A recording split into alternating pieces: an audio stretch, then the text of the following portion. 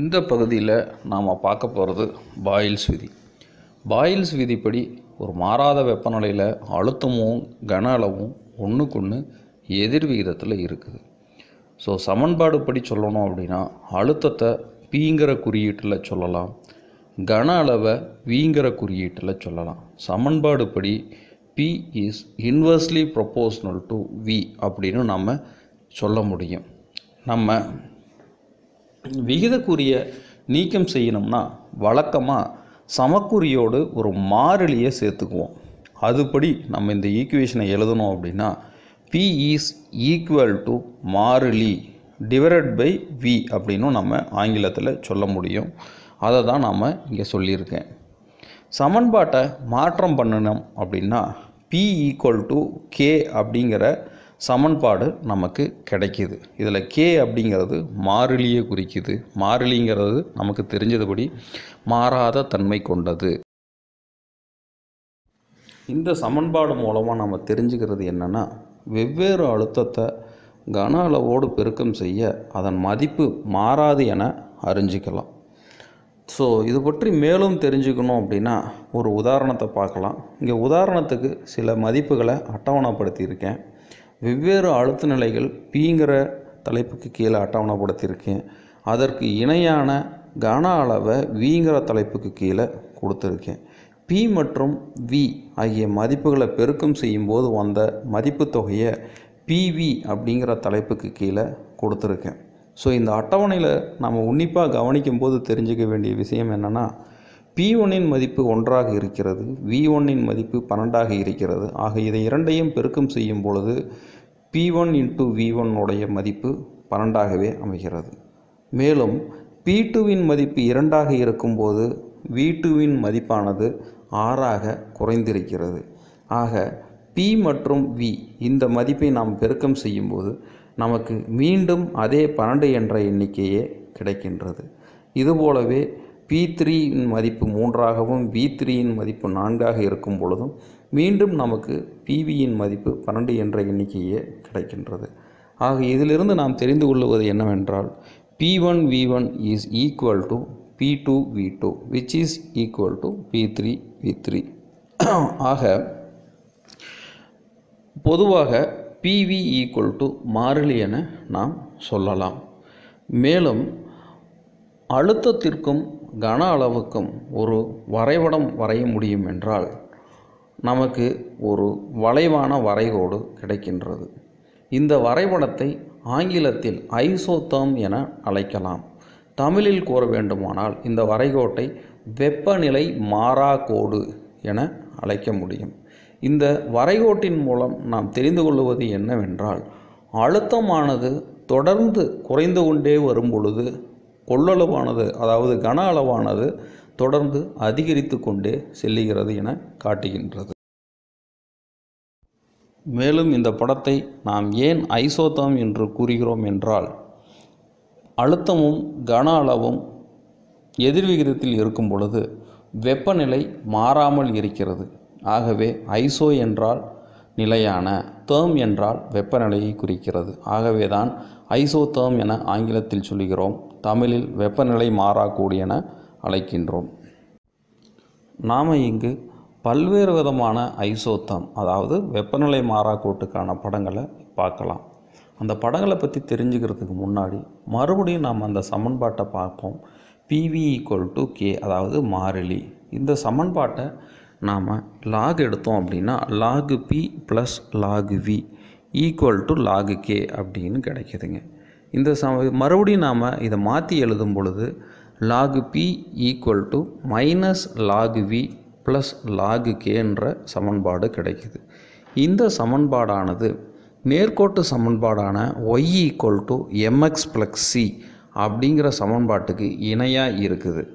ஆகவே நாம் எக்ஸ் அச்சில் லாகு வி அப்படிங்கிற வேல்யூவை எடுத்துக்கிட்டோம்.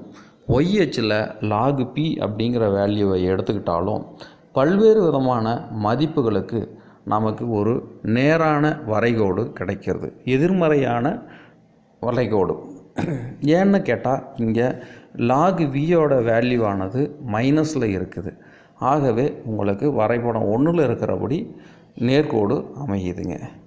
இதுவே படம் ரெண்டில் காட்டியிருக்கிறது போல் லாகு பிக்கும் லாக் ஒன் பை விக்கும் எடுத்துக்கிட்டோம் அப்படின்னாக்க நேர்மறையான நேர்கோடு நமக்கு கிடைக்கிது. படம் மூணில் பார்த்தோம் அப்படின்னா பிவி ஈக்குவல் டு கான்ஸ்டன் ஆகவே அதை பல்வேறு விதமான கன அளவுக்கோ அல்லது அழுத்தத்திற்கோ நம்ம வரையோடு வரைஞ்சோம் அப்படின்னா நமக்கு படுக்கையான வரைகோடு கிடைக்கிதுங்க. இந்த படுக்கையான வரைகோட்டில் பாருங்கள் டி ஒன் டி டூ அப்படின்னு ரெண்டு வெப்பநிலையை நம்ம சொல்கிறோம் வழக்கமாக வெப்பநிலை அதிகரிக்கும் போது அழுத்தமும் கூடவே கன அளவும் அதிகரிக்கும். ஆகவே பிவியோட மதிப்பு எங்கே அதிகமாக இருக்கோ அந்த படுக்கையான கோடானது அதிகமான வெப்பநிலைக்குரிய இதை கொடுக்குது காட்டுது. அதே போல் வெப்பநிலை குறைவாக இருக்கும்போது உங்களுக்கு டி ஒன் அப்படிங்கிற வரைகோடு கிடைக்கிது.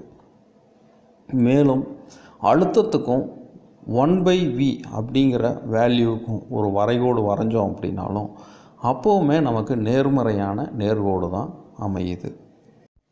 நாம் முழுமையாக பாயில்ஸ் விதியை பற்றி தெரிஞ்சுக்கணும் அப்படின்னா அழுத்தம் மற்றும் கன அளவுகளுடைய பல்வேறு அழகுகளை பற்றியும் நம்ம தெரிஞ்சுக்கிறது அவசியம். ஸோ அழுத்தத்தை ஏடிஎம் அப்படின்ற அழகு அல்லது சிஎம் ஆஃப் மெர்குரிக் ப்ரெஷர் அப்படின்ற அழகு அல்லது டார் அப்படின்ற அலகில் இந்த மாதிரி பல்வேறு அலகுகளில் சொல்ல முடியும்.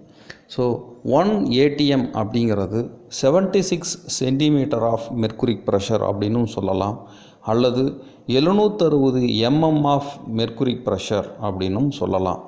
இந்த 76 six cm of mercuric pressure அல்லது எழுநூற்றறுபது எம்எம் ஆஃப் மெர்குரிக் ப்ரெஷர் அப்படிங்கிறத எழுநூற்றி அறுபது டார் அப்படின்னும் நம்ம சொல்ல முடியும்.